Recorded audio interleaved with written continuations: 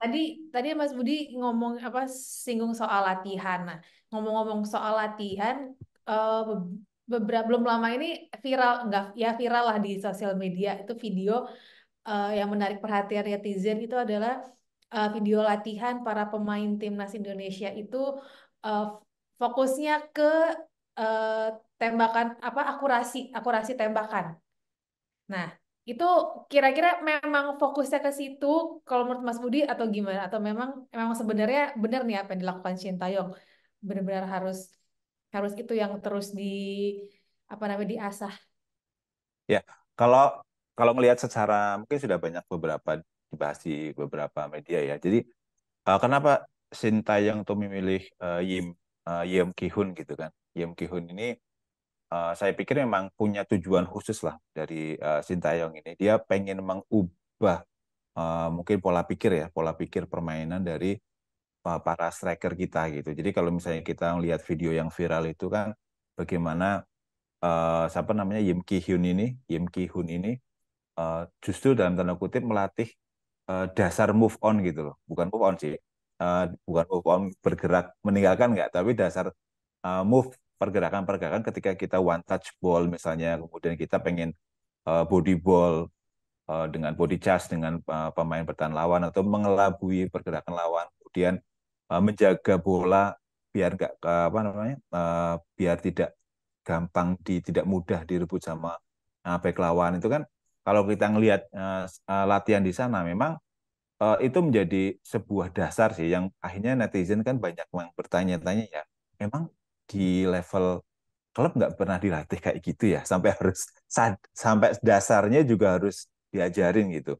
Tapi uh, itu itu oke okay lah itu kritikan ya dari netizen warganet yang budiman ya. tapi dari sisi teknis memang kenapa nggak ada yang salah saya pikir. Karena kenapa nggak dilatih dari dasar segala macam? Karena untuk mengingatkan gitu mengingatkan kayak misalnya Hoki Caraka kemudian Ramadan Sananta ketika misalnya mungkin saja ya dalam pikiran saya Sintayong akan melakukan uh, strategi serangan balik uh, dan striker seperti uh, strike apa strike kemudian Ramadan Sananta Hoki Caraka itu bisa bisa jadi tembok bisa jadi apa sih namanya uh, apa namanya wallnya gitu loh untuk uh, kemudian uh, gelandang masuk kemudian ngambil bolanya gitu. Jadi saya pikir nggak ada yang salah. Cuman memang yang harus diperhatikan adalah uh, statistik dari uh, bukan bukan statistik ya, uh, tapi performa dari masing-masing uh, striker. Jadi kembali ke apa namanya IMK Home ini. Jadi uh, IMK Home ini sebenarnya uh, agak agak flashback agak flashback ya.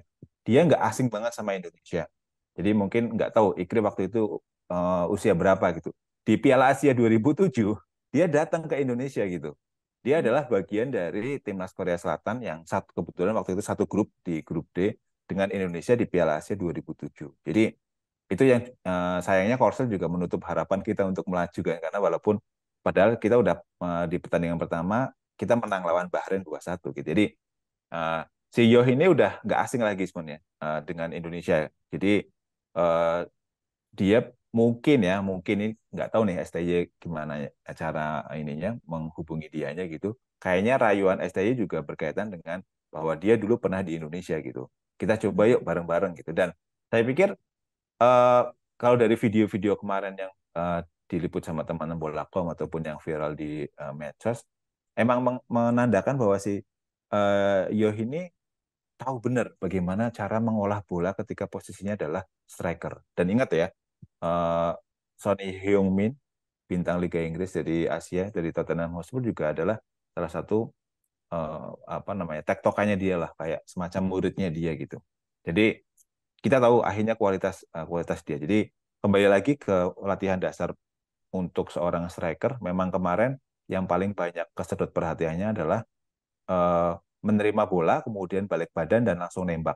Nah itu uh, apa namanya itu salah satu yang mungkin akan menjadi senjata Sintayong di sana di di Arab Saudi karena kan kita lihat ya Ramadan Sananta kemudian Hoki Caraka bahkan Egi sampai ngelihat gitu kan Egi Maulana sampai sambil lewat dia sambil ngelihat bagaimana caranya eh, apa namanya Hoki dan Ramadan mengeksekusi bola yang sudah ada di kakinya untuk menembak langsung ke arah gawang dan itu dilakukan oleh semua gelandang sih pada akhirnya di sesi latihan yang hampir berakhir sebenarnya semuanya akan uh, di, di apa ya semuanya merasakan uh, teknik men, apa, memanfaatkan sekecil apa pun peluang yang ada di depan gawang.